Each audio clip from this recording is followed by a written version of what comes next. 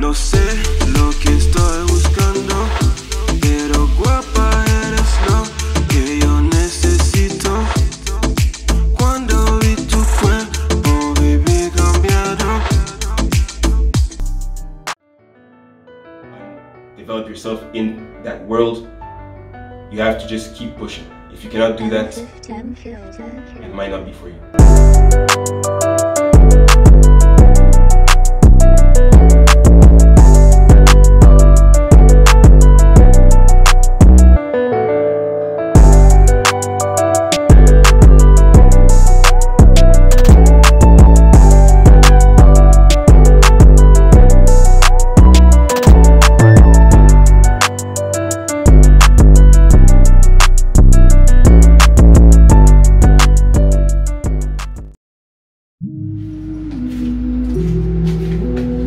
Up YouTube? It's your boy Fly JV and I'm back with another video.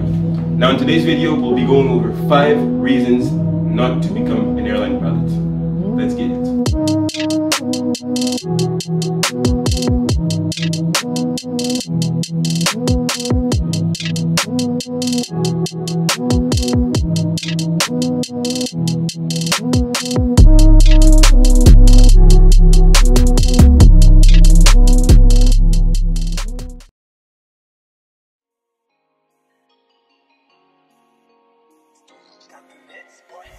Number one, an inconsistent schedule. As an airline pilot, as part of an airline company, you will have an inconsistent schedule that changes every week. So you might be working during the week, you might be working during the weekend, as opposed to somebody who works a regular nine to five job from Monday to Friday. So you will have to be adaptable to that. You'll have to be ready to basically wake up earlier from some flights, and you have to, for example, be aware that some of the flights will take place late at night as well. So you have to be somebody who is adaptable, and you also have to be somebody who is able to manage his time and his own circadian rhythm with sleep and stuff like that to basically be able to thrive on that type of environment. Now, also, let's move on to holidays, for example. Christmas, the New Year's Eve, these are things that you might miss. You might have one of them, you might have none at all. And for example, for Muslims, for example, who fast during Ramadan, you will have to have days where you don't fast because you will be in flight and you will be exhausted if you do a complete fast. So it might impede with certain things that you're used to doing usually without being part of the airline industry basically. So you have to keep that in mind. And basically if you're not somebody who can fit that inconsistent schedule in his life, unfortunately being a pilot might not be for you.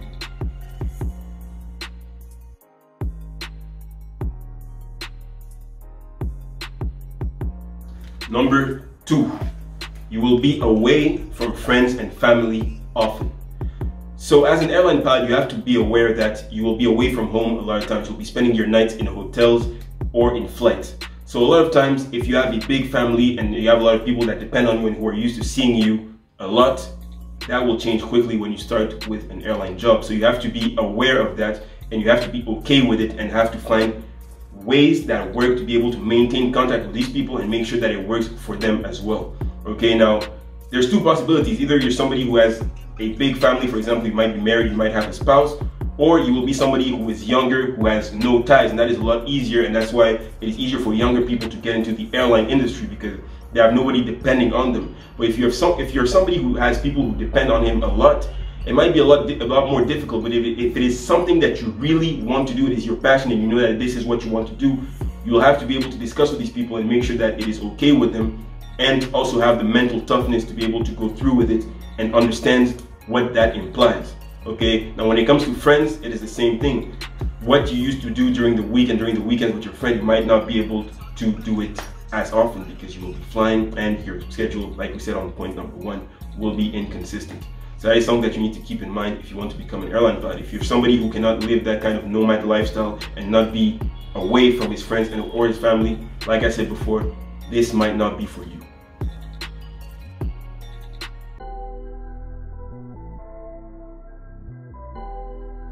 Number three, missing social events. This ties back into number two. As an airline pilot, like I said before, you have an inconsistent schedule, you're away from friends and family, you'll be spending a lot of times in hotels, inside of the aircraft, or resting. you will be missing a lot of social events because of that. Depending on whether you are in a base that requires you to commute back home or not, this might change this fact, but the, the case remains that you will be flying a lot and you will be away a lot of times. So a lot of special events to you and your friends might be missed, unfortunately, when it comes to birthdays, when it comes to weddings, when it comes to just regular social get-togethers, you will miss a lot of them. Now, obviously, there are exceptions when it's something something that is very, very important to you. You can talk to your company and have a day off to be able to attend that. But when it comes to regular other things that might be very important to somebody else's life, you'll have no choice but to accept the fact that some of these events will be missed. And now it gets into something that is a little bit more deep because you will lose friends because of that, because you will drift away. And that is just a fact of life that you have no choice but to accept. Okay, now you can stay in contact as much as you can with the people that you love and the people that you enjoy, but everybody has a different life, everybody has a different goal. Your goal is to be an island and develop yourself in that world. You have to just keep pushing. If you cannot do that, it might not be for you.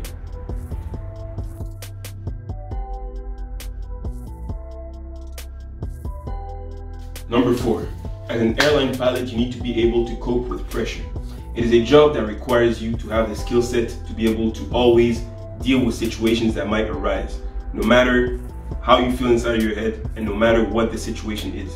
Now, let's take for example the simulators. You will have two simulators a year where you will be tested and evaluated to make sure that you still have the standard required by the airline and to maintain your license. You will also have recurrent courses that you will need to take to prove to the instructors that you still know what you're talking about and to basically refresh yourself.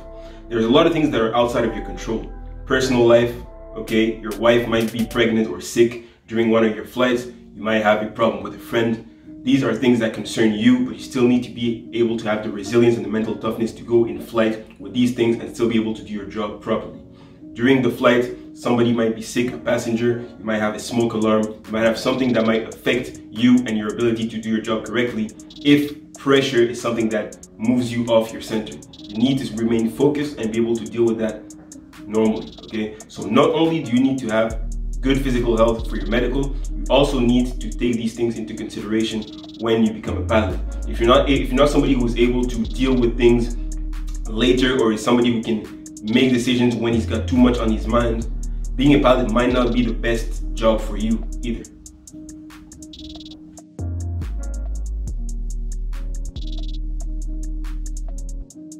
Number five, last but not least, the medical. The medical is the centerpiece of every airline pilot's career. Without the medical, your license is not valid, okay?